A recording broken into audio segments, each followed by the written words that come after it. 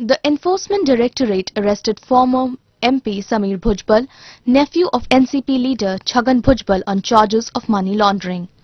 The Enforcement Directorate carried out nine raids at the residences and offices belonging to Bhujbal family. Advocate Sejal Yadav said that Sameer Bhujbal would be produced in a court today. There has been an arrest. He'll be produced before the court tomorrow.